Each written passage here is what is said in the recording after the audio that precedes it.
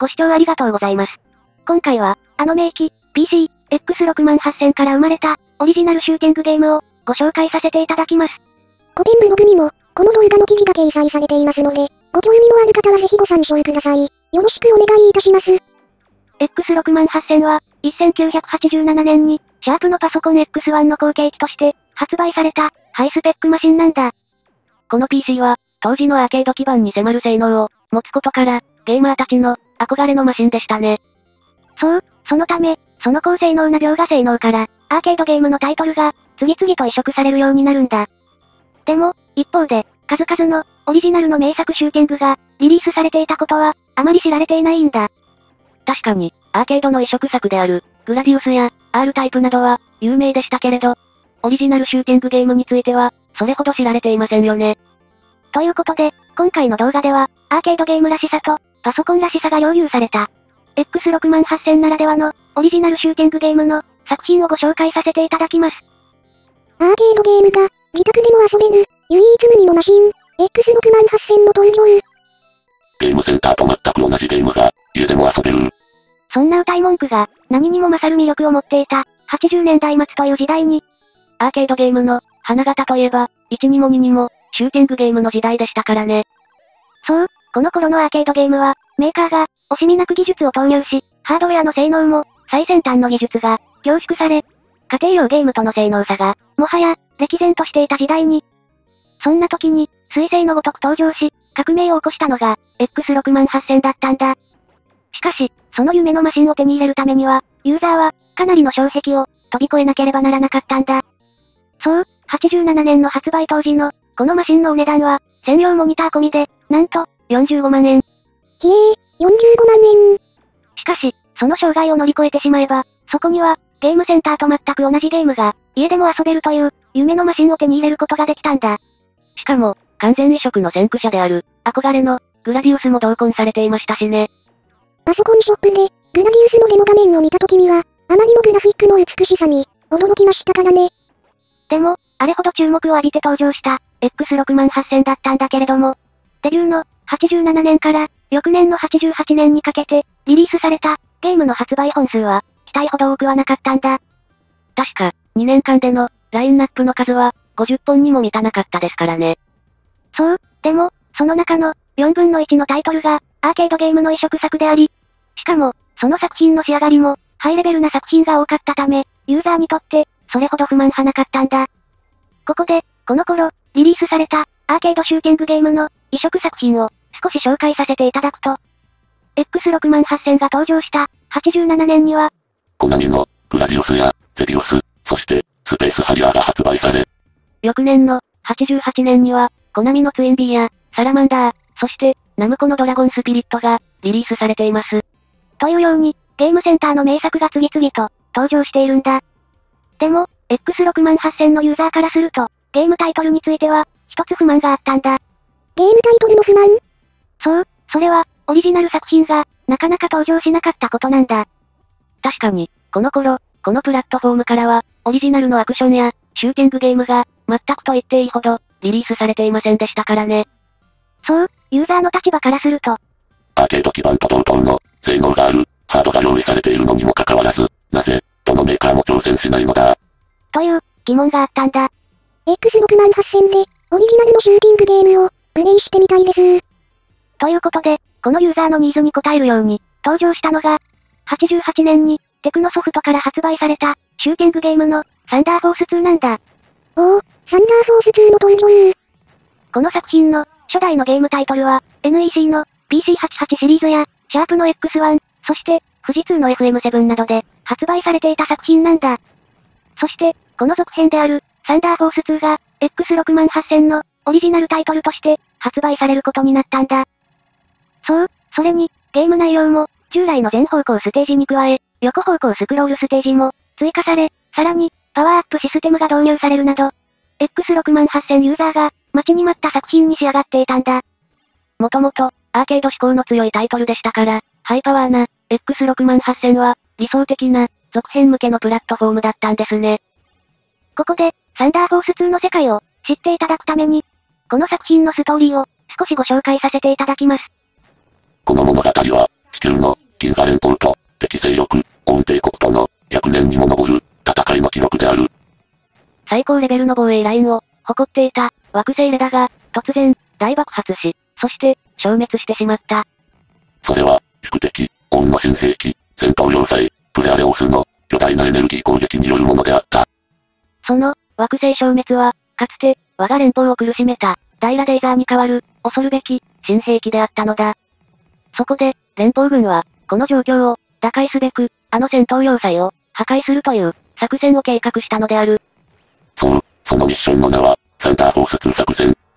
この連邦の計画とは、宿敵、オンの惑星、ネキュラの内部にある、空間ドック、第6層に設置された、要塞、プレアレオスに。最新戦闘機である、エクセリーザを密かに向かわせ、唯一の弱点である、中心核を破壊するという、奇襲作戦なのである。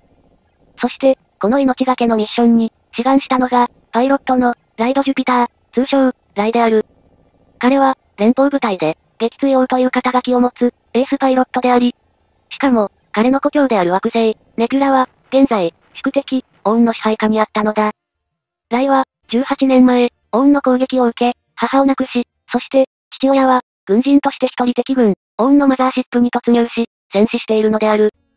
そう、要塞、プレアレオスを、破壊することは、オウンに大打撃を、与えることであり、さらに、彼にとっては、故郷や両親の、仇討ちにもなるのだ。そして、いろいろ、サンダーフォース2作戦が、実行されることに。耐熱フィールド照射、侵入角度、OK。数々の景気が、デッドレベルを示し、ジェットエンジンの轟音が、鳴り響く。ベースシップ、ファーン、聞こえるか、こちらエクセリーザ。これより、サンダーフォース2作戦を、開始する。次の瞬間、エクセリーザは、戦闘要塞、プレアレオースに向け、一筋の光となり、宇宙の彼方へ、飛び立っていったのである。ここから、サンダーフォース2のプレイが始まるんだ。この作品は、アーケード移植が盛んだった、X6 万8000、初の、オリジナルシューティングゲームであり、大ヒットしたタイトルなんだ。この作品は、翌年の89年に、サンダーフォース 2MD として、メガドライブにも移植されることになります。でも、サンダーフォース2以降、このシリーズは、セガの家庭用ゲーム機での、リリースへと、シフトしていくことになり、テクノソフトの、X6 万8000のタイトルは、これが最初で最後になってしまったんだ。うーん、残念ですね。そして、この作品以降、このプラットフォームでは、しばらく、オリジナルタイトル不作の時代が、続くことになるんだけれども。そんな中、翌年の89年に、X6 万8000の、オリジナル作品として、ひっそりと現れたのが、D リターンなんだ。D リターンそう、一見すると、同人ソフトのようなパッケージで、X68000 にしては、地味なサウンドや、グラフィックス。しかも、開発元も、聞いたことのない、日本コンピュータクラブという、メーカーでもあることから、当初は、ユーザーから、敬遠されがちな作品だったんだ。しかし、オリジナルシューティングに飢えたユーザーは、この謎のタイトルを、ダメでもともとでトライしてみたんだ。すると、このタイトルは、ファンの予想を超える、X68000 でしか、味わえない、奥深く、やり込み要素のある、面白い作品だったんだ。そう、この作品をプレイしてみると、最初は、被弾することが前提の、激烈な攻撃に、最初は、誰もが困惑するんだけれども、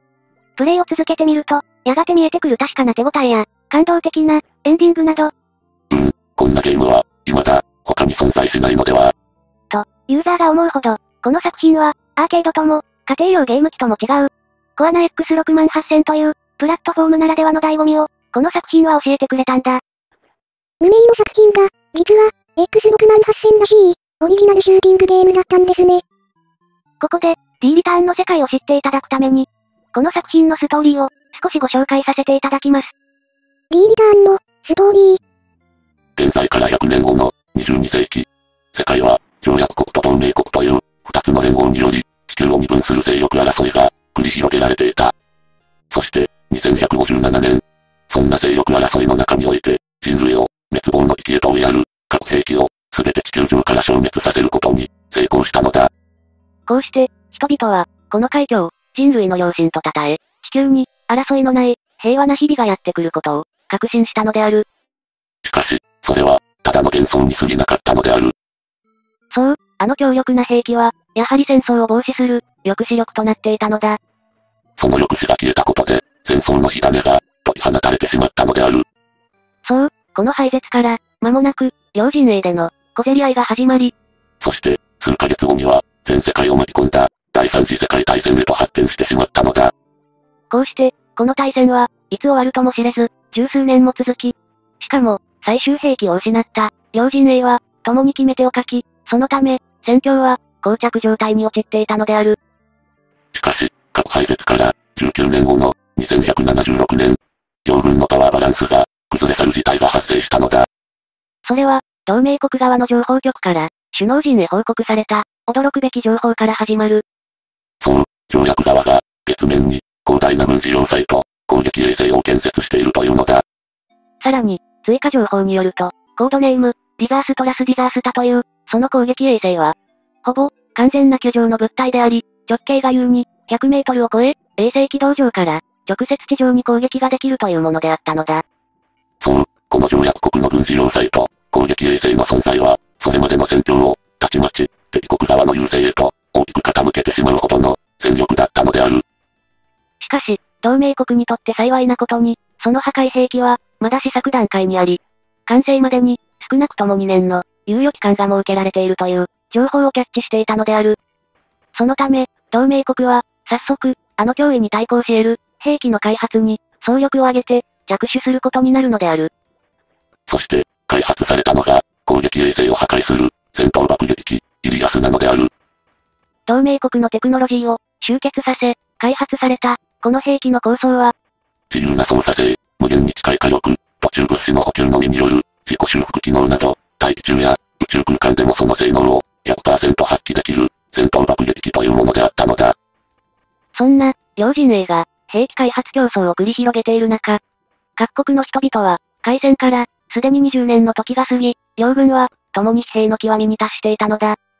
また、両軍の戦力についても、海上では、大型艦船や、航空母艦の姿はもはや見られず、資源不足から、新たに建造されることもなかったのである。当時、かろうじて残っていた大型兵器といえば、同盟国の航空母艦、瀬戸と、条約側の戦艦、ソブリンくらいのもので。さらに、制空権についても、電子機器が搭載された、ハイテク戦闘機や、爆撃機は姿を消し、その代わり、低速で有志飛行に頼るという、まさに、100年以上前の、戦闘方法に、逆戻りしていたのである。そして、数十年にも及ぶ、戦争継続の結果、各国の人々の間では、厭戦気分が蔓延し、ただ、戦争の終結だけを待ち望んでいたのだ。それに、兵員不足という状況は、両軍ともに、深刻な問題であり、戦闘要員のほとんどは、戦時中に生まれ、平和を知らない若者たちであった。そう、同盟国の切り札となる、あのイリアスのパイロット、神楽坂うねぎ上等兵も、そんな一人だったのだ。彼女は、少女時代を、ずっと施設で過ごした孤児であり、父母を奪った、戦争を一刻も早く終わらせたい一心で、15の時、軍に志願し、入隊後は、その天性の気性と、勘の良さから、数々の戦績を上げてきたのである。そして、彼女は、その、少女時代の辛い経験から、戦争終結の決め手となる、イリアスのパイロット募集に、迷わず志願し、厳しい訓練に耐え、晴れて、一番機のパイロットに選出されたのである。そして、戦闘爆撃機、イリアスのテスト飛行が、最終段階に入っていた頃、ついに、ミッション遂行の時がやってきたのだ。そのきっかけは、2178年、同盟国陣営に、緊急通報が入ったのだ。そう、条約側の、あの破壊兵器が、ついに完成したというのである。イリアスがテイクオフするのは、今しかない。かくして、ピザースタの破壊命令が、神楽坂上等兵に指示された。彼女に与えられた、任務は重大であり、そのミッションとは、その1、ルブハリ砂漠に潜む、浮遊要塞、NOP を撃破すること。その2、公海上に停泊する、敵戦艦、ソブリン及び、潜水艦、即席を撃沈すること。その3、東ヨーロッパ上空に対空中の、浮遊母艦、マザーを撃墜すること。その4、大気圏を突破し、月面でテスト飛行中の、攻撃衛星、リザースターを、破壊すること。というものが、ミッションであったのだ。こうして、同盟軍の、発進管制基地では、最新戦闘機、イリアスの発進準備作業が、急がれていた。そして、いよいよ、彼女を乗せた、イリアスの出撃の時が来たのだ。固い決意と、使命感とともに、彼女はコックピットに乗り込み、ケーキタグ以上なし、完成感どうぞ。こちら完成とう、カウントダウンまで、あと、2分。カウントダウンが、発信完成基地に響き渡る。うねび、ああいうレディー。ラジャー、オールクリアー。時は、西暦2178年、5月、うららかな、さつき晴れの日のこと。ディザースタの攻撃を、阻止すべく、ミッション遂行のため。イリーアスは、カタバルトを蹴り、南の空へと飛び立っていた。ここから、D リターンのプレイが始まるんだ。そして、この作品は、X6 万8000のファンが、知る人ぞ知る、名作シューティングゲームとなり、このプラットフォームでしか楽しむことのできない作品として、多くのユーザーから支持されることになるんだ。そして、驚くべきことに、この D リターンの制作は、なんと、神戸大学の学生たちの、作品を、商品化したタイトルだったんだ。しかも、このゲーム開発の中心人物は、一人のクリエイターが作り出したものであり。一人のクリエイター？そう、その名は、赤坂隆弘さんという、学生なんだ。彼は、プログラムからビジュアル、そして、音楽に至るまで、すべて一人で制作し、作品を仕上げてしまったんだ。おお、すごい情熱ですね。まさに、個人制作に近い、ゲリラ制作から、唯一無二の作品が生まれるところが、この X6 万8000という、プラットフォームらしいところですね。そして、88年にリリースされた、サンダーフォース2や、89年の、D リターンを皮切りに、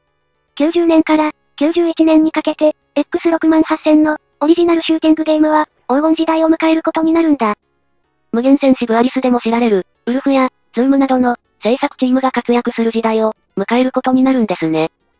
そうだね、これ以降の作品については、また次回の動画で、ご紹介させていただきます。今回はここまで。ご視聴ありがとうございました。ご視聴ありがとうございました。